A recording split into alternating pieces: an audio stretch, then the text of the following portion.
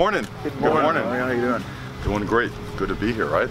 Yeah. Change So- of setting. Uh, got a chance to practice and work at, at a different setting, which, you know, last night we uh, had a team presentation to talk about our woes on the road. You know, at home, our margin of victory, I believe, was almost 30 points per game. But yet on the road, it was our margin of defeat was very similar. So what is that? The approach to the entire thing has to be a change of mindset. Okay, what uh, you know what we're capable of and what we showed at home and what we kind of allowed to transpire when we weren't. So it's a huge focal point for today. We'll be in full gear. I think you guys will get a kick out of it after we go to our tackling drills. We'll go right to old school Oklahoma hamburger drills and we'll lay those boards or those agility bags right here in the end zone and get a chance to see our guys just rip off the football at every position.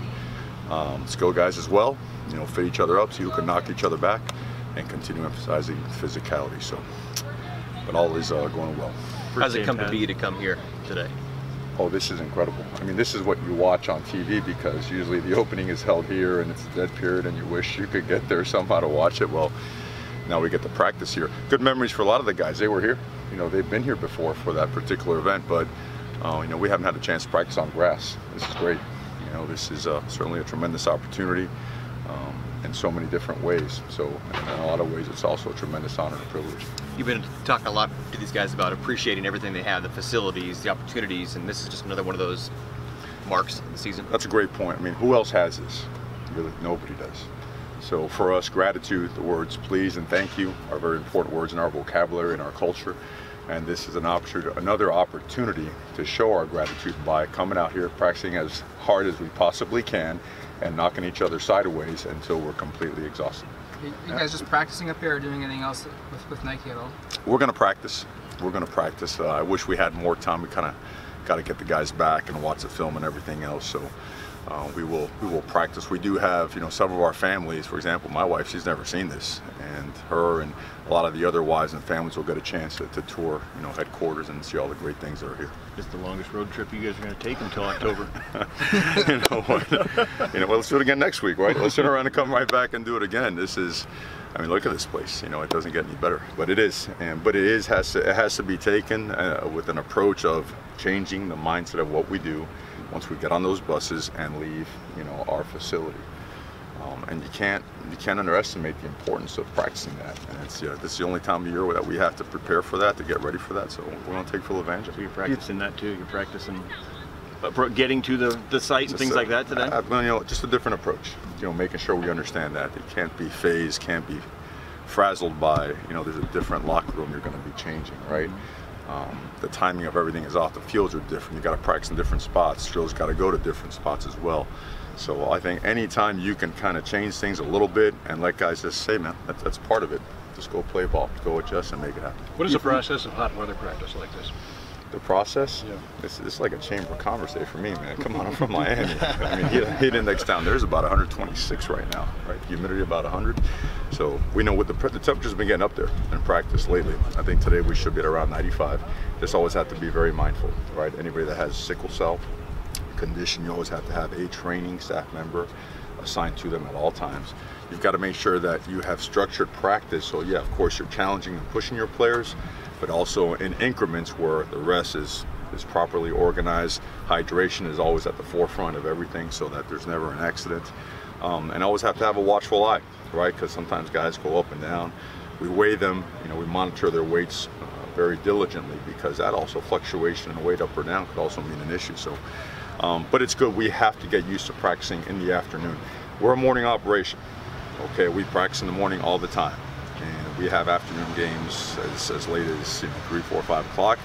We have some as early as 11 o'clock, so we have to get used to time changes as well. What's the competition shaping up like at inside linebacker? It- it's pretty Alongside fierce. Troy Dye. No, there's no doubt. There's no doubt. Though. Those guys have really taken it upon themselves to be very physical. All right, and, and going against an offensive line like this, guys like Shane Lemieux that have been here a while, Capra, Dallas Warmack coming on, Calvin Throckmorton. You know, Lana being back full speed has upped his game tremendously. Okay, Isaac Slade, he is a very natural, instinctive playmaker, and he wants to be on the field, and he's shown that he belongs on the field.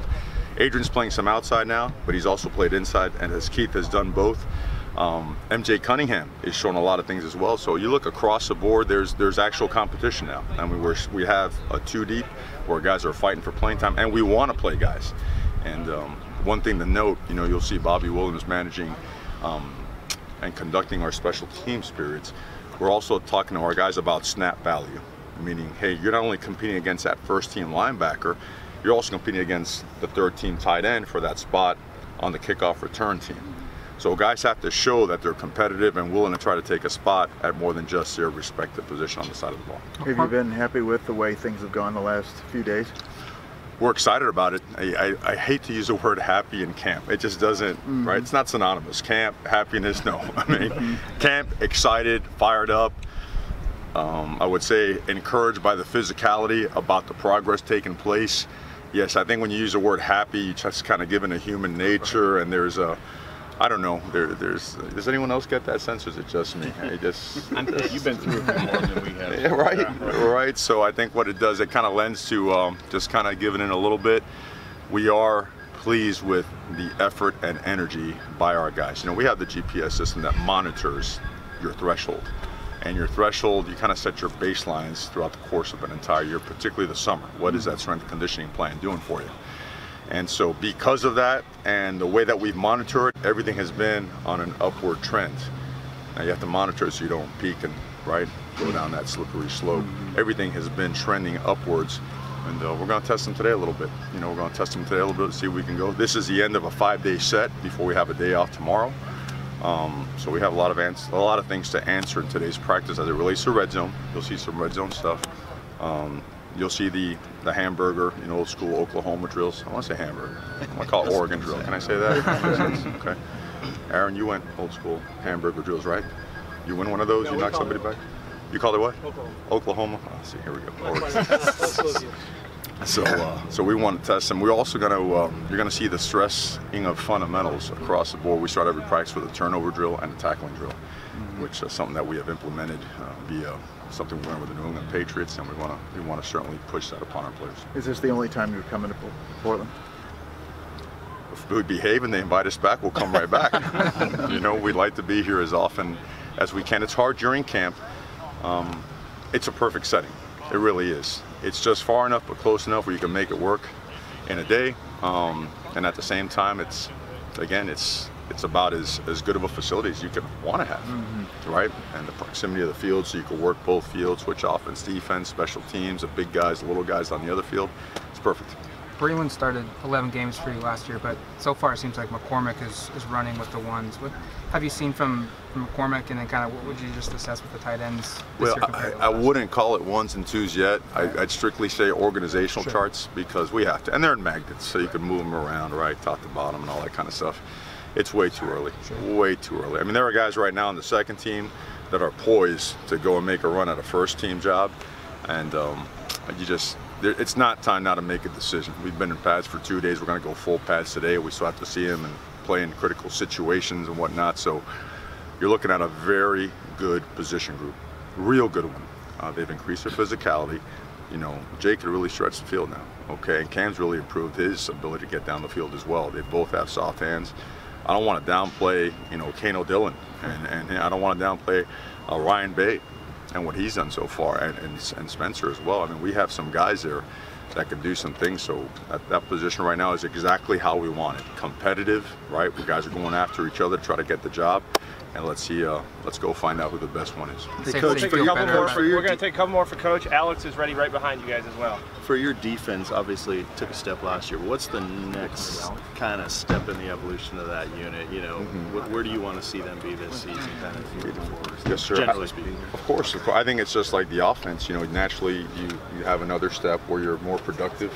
Um, we've got a lot of really good players back, so we expect to be, you know, better against the run, um, better against big plays. Just like on offense, we want to be better at making big plays and be a better team controlling the line of scrimmage. So I think it's similar. I think they're parallels. They mirror each other. Um, but just the next natural step is improvement. Certainly, we can't go the other way. We can't level off. I don't think you ever level off. So uh, that's what we demand of ourselves as coaches and as players. First day in pads today. No, third day really. We've been in pads. I mean, they call it shells, but come on now. You know, I mean, you're- the I guys are ripping around, knocking each other around.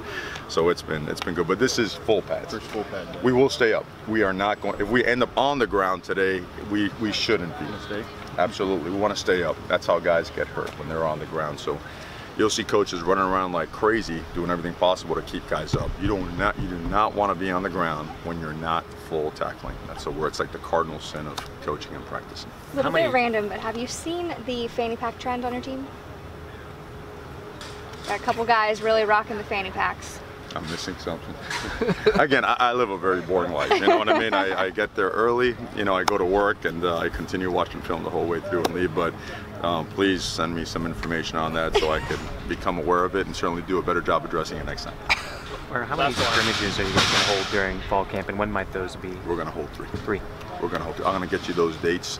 Uh, the last one being more of a yeah, we'll start it with the ones, but then it'll be a heavily uh, involved twos and threes type of scrimmage to find out who rounds out that top 60 to get on that airplane on that bus. Well, no airplane for a while, but get on the bus, right? Thank you guys. Appreciate it. Thank